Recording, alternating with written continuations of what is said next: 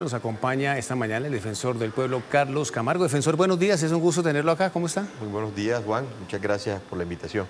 Bueno, defensor, tenemos muchos eh, temas para hablar con usted. Primero queremos saber qué información tienen ustedes sobre el caso de esta mujer que, y su bebé que habían sido, habrían sido secuestrados en Tame, en Arauca, porque realmente la situación ahí es bastante compleja, no solamente ahí en la zona, sino en este caso en particular. Nosotros hemos estado monitoreando y acompañando la situación triste y lamentable con ocasión del secuestro, la aprehensión ilegal de esta señora con su bebé.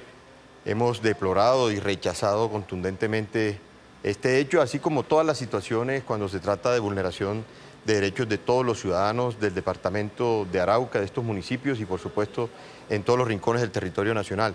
Hemos acompañado y gracias se dio la liberación por parte de este grupo armado ilegal de esta persona eh, que se encuentra en óptimas condiciones de salud, ella y su bebé, de manera de que hoy tenemos esta buena noticia que contarle al país.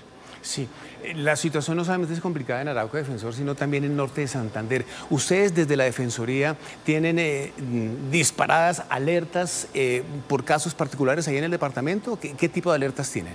Nosotros hemos emitido 13 alertas tempranas para el departamento de, norte de Santander. En particular, hoy se encuentran activas cinco de ellas. Eh, cinco para todos los municipios.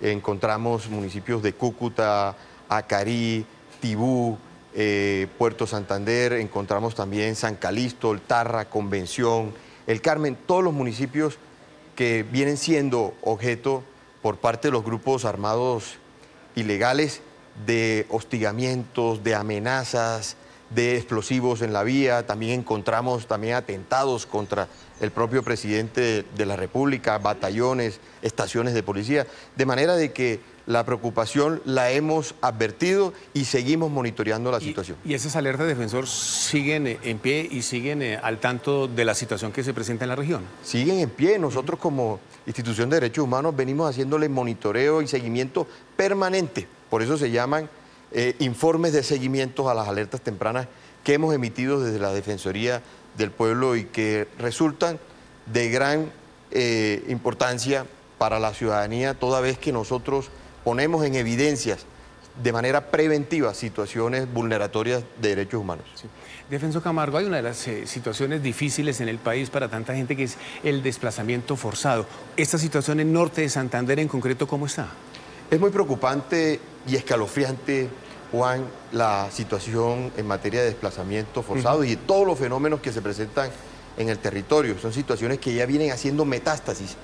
Por eso nosotros desde la Defensoría del Pueblo no solamente hemos advertido la situación de desplazamiento forzado individual y masivo de, poblaciones en norte de Santander, sino que también lo venimos haciendo en todas las zonas de fronteras en el departamento de Guainía, en el departamento de Arauca, en Bichada, en reciente visita que hemos hecho a estos departamentos, hemos observado de primera mano todas estas situaciones vulneratorias, atentatorias contra los derechos individuales y colectivos de todas estas poblaciones. Por eso estamos en la tarea del proceso de construcción de la alerta temprana binacional de, en todos los departamentos de frontera. Esto enmarca el departamento de Arauca, eh, de Guainía y de Bichada. De manera que estamos ahí haciéndole monitoreo permanente. Encontramos en, en, el departamento de norte de Santander, en lo que va corrido del año, un desplazamiento de más de 173 núcleos familiares, que eso enmarca de más de 508 personas. En menos de dos meses. En menos de dos meses, en lo que va corrido del año, observamos con muchísima preocupación y por eso de manera permanente, recurrente, estamos en el territorio con los equipos monitoreando eh, la situación. Defensor, hay una pregunta que es eh, importante hacerla porque la estamos viviendo en todo el país. ¿Esta escalada de violencia está ligada directamente con las próximas elecciones, con lo que es, eh, mal se ha llamado la despedida de Duque? Está exacerbado todos los factores y los actores de violencia. No podemos, que, no podemos enmarcarlos a una situación de pronto política pero lo que hay que decir con toda la vehemencia es que hay continuidad de los factores y los actores de violencia en el territorio, donde hemos visto diferentes manifestaciones de estos actores, pero también insistir en que hay una disputa por el control social y territorial de los puntos estratégicos de las rutas del narcotráfico. Vemos y observamos en el departamento de Norte de Santander cómo los rastrojos, cómo el ELN, cómo el EPL, cómo las disidencias de la FARC, el Frente 33, también observamos la Segunda Marquetalia, que están eh, buscando la manera de intimidar, de amedrentar a la población.